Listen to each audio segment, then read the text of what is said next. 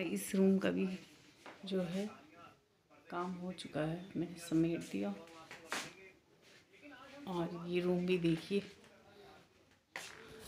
ये बच्चों के स्कूल जाने की बात करूँ। और वो ज़्यादा बच्चों की मौजूदगी ही करूँ? और जब बच्चे होते हैं घर में तो ऐसे ही होता है। और बच्चों के स्कूल जाने के बाद ही मैं साफ़ सफ़ाई कर पाती हूँ। अभी मेरा किचन का काम रह रहा है फ्रेंड्स और मैं जल्दी से अपना किचन किचन का काम भी समेट देती हूँ। और फिर मिलते हैं आपसे।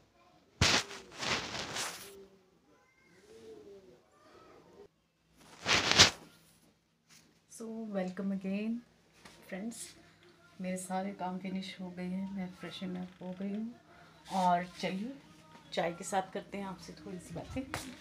यस देखिए फ्रेंड्स मेरी गर्मा गर्म चाय भी रेडी है और घर भी एज़ यूजल साफ़ हो चुका है, शाम तक के लिए। सिर्फ़ शाम तक के लिए, क्योंकि मेरे बच्चे आएँगे और आते ही वो कर देंगे पूरे घर में तहस फ्रेंड्स अकेले संभालना बहुत मुश्किल हो जाता है। फाइनेंशियली की हेल्प हो ही जाती है बट रियल में एक सिंगल मदर की तरह लाइफ हो जाती है, जब आपको हस्बैंड का सपोर्ट ना मिले।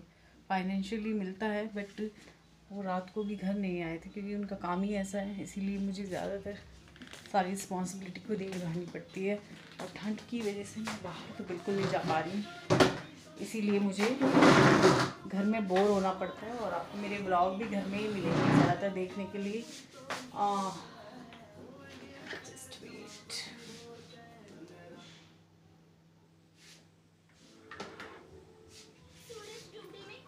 सो फ्रेंड्स मैं ये कहना चाहती हूँ कि आपको फाइनेंशियली तो मिल जाता है सपोर्ट लेकिन कई काम ऐसे होते हैं जो आपसे अकेले हो नहीं पाते फिर भी करने पड़ते मजबूरी में।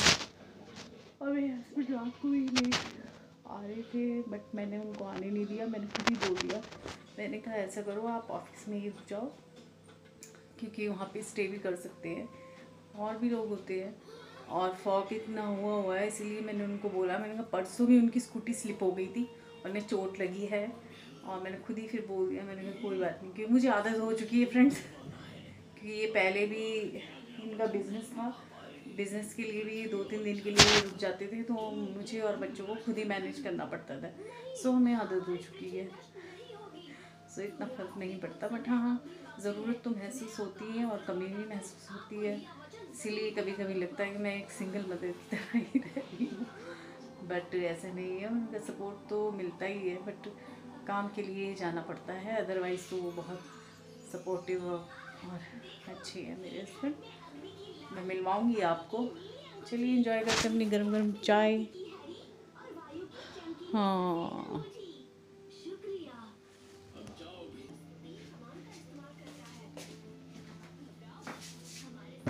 चश्मा बहुत ऑयली हो है फ्रेंड्स इसको मैं टिश्यू से ही साफ़ करती हूँ। मेरी आई साइड भी हो गई थी फ्रेंड्स क्योंकि जब मेरी बेटी हुई थी, तब थोड़ा सा वीकनेस की वजह से मुझे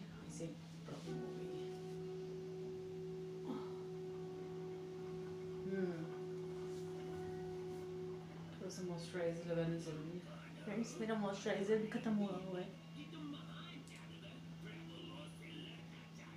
वैसे मेरी बेटी का है छोटी वाली का। उसे बड़ा शौक है।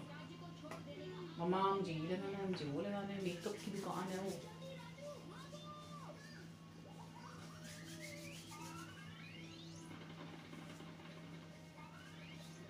खाली टाइम में मैं भी कार्टून ही देखना पसंद करती हूँ फ्रेंड्स नाउ एंजॉय चाय हम्म। सर्दियों में तो यही सारा है फ्रेंड्स आप भी पी लीजिए गर्मा गर्म चाय. ये इंजॉय करने वाली ठंड तो बिल्कुल मुझे नहीं लग रही दोस्तों, क्योंकि इतनी ठंड में घर में रुकना पड़े तो ये इंजॉयमेंट नहीं है सजा है मेरे लिए. बाहर जाने का इतना मन करता है फ्रेंड्स बट मैं जा नहीं पा रही हूँ. कल ही गई थी बच्चों के साथ. इतनी आफत आई हुई है ना, बहुत ज़्यादा। इसी रीज़न की वजह से मैंने अपने हस्बैंड को कल ऑफ़िस से आने को मना कर दिया। दस बजे आएँगे, बारह बज जाते हैं, उन्हें आते वक्त। मैंने कहा, इससे सही तो आप रुक ही जाओ, सुबह फिर जल्दी जाना होता।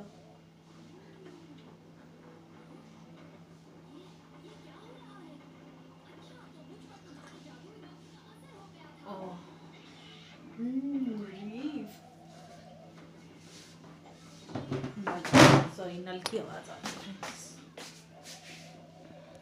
फ्रेंड्स ये देखिए मैं क्या देख रही हूँ। मैं देख रही हूँ छोटा भीम। हाँ एक्चुअली मैं सुबह उठती है तो मेरी बेटी लगा लेती है छोटा भीम और जो भी कार्टून उसको पसंद होते हैं सिंड्रेला वगैरह तो मैं उसी पे ही लगा रहने देती हूँ और लगे लगे ही काम करती हूँ। तो मुझे भी आदत हो गई है। डोरीमोन भीम ये सब देखने की। सो मैं ये देखी इंजॉय कर रही हूँ चाय के साथ अपना कार्टून और ये है मेरी फैमिली फ़ोटो मेरी दोनों बेटियाँ, मैं और मेरी हबी। मैं आपको मिलवाऊँगी बहुत जल्दी अपनी पूरी फैमिली से।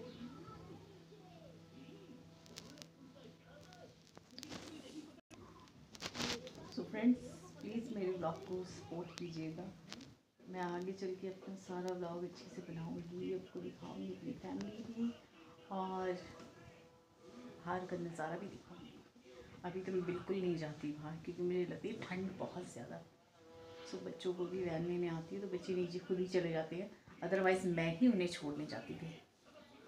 सो so फ्रेंड्स अगर आपको आज का ब्लॉग अच्छा लगा हो, एक मम्मी का in home so mommy in home को प्लीज़ लाइक कीजिए सब्सक्राइब कीजिए। Thank you for watching bye